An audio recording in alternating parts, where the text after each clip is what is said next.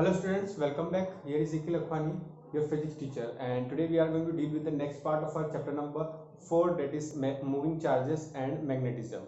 तो आज अपन पढ़ने वाले हैं application of Biot Savart law पिछला जो लेक्चर था उसमें बायट सेवर्ट लॉ अपन ने देखा था अब अपन उसी कुछ एप्लीकेशन को डील करेंगे ठीक है बायट सेवर्ट लॉ में अपन ने देखा कि बायट सेवर्ट लॉ क्या होता है D B is to mu naught by four pi ideal sine theta by R square अब वो जो फॉर्मूला था, उस फॉर्मूले को अपन यूज़ करेंगे, वो मैग्नेटिक फ़ील्ड निकालेंगे अलग अलग कैटेगरीज के लिए। तो सबसे पहले magnetic field at the centre of circular coil carrying current ठीक है? मेरे पास एक सर्कुलर कॉइल है, जो क्या कर रही है? करंट को कैरी कर रही है। उसकी वजह से मैग्नेटिक फ़ील्ड कितनी होगी वो मुझे बताना है, ठीक है? तो सबसे पहले consider a circular coil of radius R तो यहाँ पे मैंने एक सर्कुलर सर्कुलर कॉइल है। जिसकी रेडियस कितनी है आर उसको मैंने कंसिडर किया है। और इससे क्या है आर करंट क्या हो रहा है फ्लो कर रहा है, ठीक है? अब इसमें मैंने एक स्मॉल एलिमेंट मान लिया है डीएल ये छोटा सा एलिमेंट डीएल इस डीएल की वजह से मैग्नेटिक फ़ील्ड इंटेंसिटी कितनी होगी, ये अपन को बायट सेवर्ट लॉ ने ऑलरेडी बताया था, ठीक है? The magnetic field intensity due to small element DL at the centre is given by Biot Savart law और इस डीएल की वजह से सेंटर पर जो मैग्नेटिक फ़ील्ड होगी वो बायट सेवर्ट लॉ के अकॉर्डिंग अपन को मिल जाएगी that is DB is equals to mu naught by 4 pi ideal sine theta by R square तो होपफुली यहाँ तक तो आपको क्लियर है, यहाँ तक तो कोई भी डाउट इसमें नहीं होगा। अब इधर देखिए, सबसे पहले अपन बात करें, ये जो एलिमेंट है, ये डीएल है। और अपन को यहाँ पे क्या करना है, यहाँ पे अपन को मैग्नेटिक फ़ील्ड निकालना है। अब ये क्योंकि एलिमेंट बहुत ही ज़्यादा छोटा है, बहुत ही ज़्यादा छोटा है तो जो सेंटर है, इसके साथ ये एंगल कितना बनाएगा? ये एंगल बनाएगा 90 डिग्री का। कितना एंगल बनेगा? 90 डिग्री का। तो यहाँ पे थीटा की वैल्यू कितनी हो जाएगी अपनी? 90 डिग्री तो यहाँ से अपने पास dB क्या आ जाएगा? dB is equals to mu naught by four pi I D L और ये हो जाएगा sine 90 degree by R square क्यों हुआ ये? Because theta is equals to 90 degree अब इसके आगे अपन देखते हैं। D B is equals to mu naught by four pi I D L sine 90 की वैल्यू कितनी होती है वन तो वन को किसी से मल्टीप्लाई करेंगे तो वही आंसर आएगा बाय आर स्क्वायर क्लियर इतना तो होपफुली यहाँ तक तो कोई दिक्कत नहीं होगी। अच्छा ये जो डीबी की वैल्यू आई है मैग्नेटिक फ़ील्ड की, ये किसकी वजह से आई है? ये इस छोटे से एलिमेंट की वजह से आई लेकिन अपन को क्या सिर्फ़ इस छोटे से एलिमेंट की वजह से मैग्नेटिक फ़ील्ड क्यों लीजिए अपन को तो पूरे जो कॉइल है सर्कुलर कॉइल इसकी वजह से मैग्नेटिक फ़ील्ड चाहिए। अपन ने क्या बोला? Magnetic field at centre of circular coil carrying कर पूरी सर्कुलर कॉइल की वजह से चाहिए। तो अब क्या करेंगे? ये तो डीएल की वजह से मैग्नेटिक फ़ील्ड है। अपन को पूरे के लिए चाहिए तो अपन ऐसे छोटे छोटे छोटे छोटे एलिमेंट मानेंगे कंसिडर करेंगे और उन सबको क्या कर देंगे? एड कर देंगे। और इसके लिए अपन क्या करते हैं? इसके लिए इस, ये जो इक्वेशन है, इस इक्वेशन को अपन क्या कर देंगे? इंटीग्रेट कर देंगे। क्योंकि इस इक्वेशन को जो अपन इंटीग्रेट करेंगे तो छोटे छोटे एलिमेंट जोड़ के क्या हो जाएगा? एक पूरी सर्कुलर कॉइल अपनी बन जाएगी। तो यहाँ से अपने पास जो मैग्नेटिक फ़ील्ड आएगी that is total magnetic field को अपन मान लेते कितनी है? बी है। और वो किसके इक्वल हो जाएगी? इंटीग्रेशन ऑफ़ डीबी इंटीग्रेशन मैंने आपको लास्ट टाइम भी बताया था। तो ये हो जाएगा integration of mu naught by four pi I D L by R square hopefully यहाँ तक क्लियर हो गया होगा, यहाँ तक कोई भी डाउट नहीं होगा। अब इसके आगे की कहानी देखते हैं अपन क्या। है इसके बाद जो है अपने पास, वो है आप देख सकते हैं जैसे कि यहाँ पे अपने पास क्या मैग्नेटिक फ़ील्ड अपने पास बी है टोटल तो।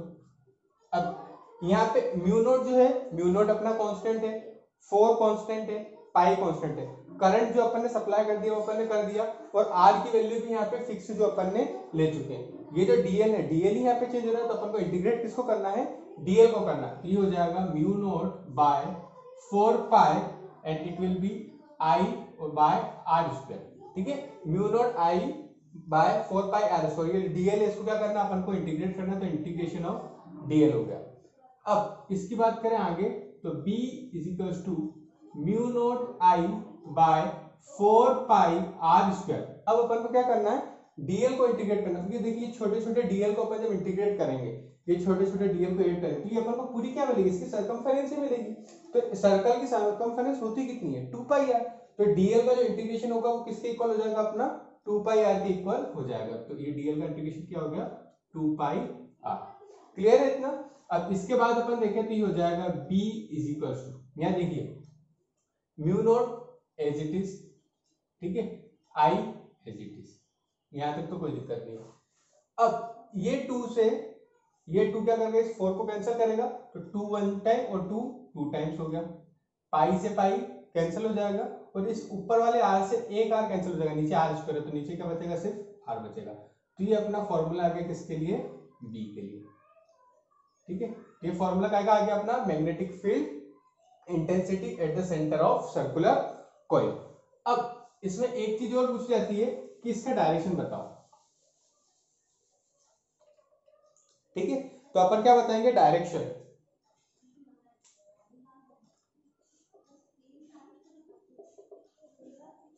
ठीक है? अब डायरेक्शन कैसे बताएँगे? सिंपल है। Direction of direction of magnetic field field is along the axis of circular coil जो अपनी सर्कुलर कॉइल है, इसकी जो एक्सिस है, इसके अलोंग क्या होगा? इसका डायरेक्शन होगा। और वो अपन किससे बताते हैं? राइट हैंड पाम रूल से अपन बताते हैं जैसे मेरा राइट हैंड है। तो हम यहाँ देखिए, अब अपने पास इसमें दो कंडीशन होती है। जैसे यहाँ पे इस केस में तो मैंने क्या किया करंट को यूँ फ्लो करवाया। तो यूँ जब फ्लो करवाया है तो ये कैसे डायरेक्शन में फ्लो हो रहा है? क्लॉकवाइज डायरेक्शन में। तो क्लॉकवाइज अपनी ये जो कर्ली फिंगर्स है कर्ल फिंगर्स ये मान लिया कि ये मेरा डायरेक्शन किसका बता रही है? ये बता रही है मेरा डायरेक्शन करंट का। तो करंट का डायरेक्शन तो ये जो थंब है, ये थंब डायरेक्शन किसका बताएगा मेरा? मैग्नेटिक फ़ील्ड का। तो अगर डायरेक्शन कैसा है? डायरेक्शन क्लॉकवाइज है करंट का। If the current is flowing in the clockwise direction ठीक है? Then the direction of magnetic field is along the axis of circular coil inward ठीक है? अंदर की तरफ़ होगा। तो ये लिख दिया अपन यहाँ पे। If the current is flowing, if the current is flowing in the if the current is flowing in the uh, clockwise direction clockwise direction then the direction of magnetic field then the direction of magnetic field is along the axis of coil inverse किस तरफ़ होगा? अंदर की तरफ़ होगा। ठीक है? अब अगर अपन डायरेक्शन ऑपोजिट लेते करंट का, मान लीजिए ये करंट अब ऐसे ना जाते कैसे जाता? करंट का डायरेक्शन यू हो जाता। करंट का डायरेक्शन चेंज हो जाता। तो अपन को क्या करना पड़ता है? ये डायरेक्शन कर्ल फिंगर बताती है डायरेक्शन करंट का। तो अब इसको मैं यू रखूँगा। तो देखिए कर्ल फिंगर मेरा डायरेक्शन करंट का बता दी। तो अब ये थम कहाँ कर रहा है? आउटवर्ड की तरफ़ पॉइंट कर रहा है। तो अब क्या जैसे पहले इनवर्ट था, अभी क्या हो जाएगा? आउटवर्ड हो जाएगा। तो इसमें क्या लिखेंगे? If the current is flowing in the anti-clockwise, in the anti-clockwise direction, then the direction of magnetic field is along the axis of coil in outward direction. कौन सी तरफ़ होगा? आउटवर्ड की तरफ़ होगा। अच्छा यहाँ पे भी axis of coil in inward direction लिख देना। इन इनवर्ड डायरेक्शन क्लियर है इतना? तो ये अपन ने ये मैग्नेटिक इंटेंसिटी का फॉर्मूला निकाला और इसके अपन ने डायरेक्शन बताई डायरेक्शन किससे बताया? राइट हैंड पाम रूल से। अगर करंट क्या कर रहा है? क्लॉकवाइज फ्लो कर रहा है तो क्लॉकवाइज में यू जाएगा। ठीक है, यू क्लॉक फ्लो करती है, ठीक है यू जाता है। तो यू जा रहा है तो करंट का डायरेक्शन क्या हो रहा है? अंदर की तरफ़। लेकिन अगर एंटी क्लॉकवाइज है तो डायरेक्शन कैसे जाएगा? बाहर की तरफ़। तो होपफुली ये चीज़ आपको क्या हो जाएगी? क्लियर हो गई होगी। आज के लिए इतना ही। Thank you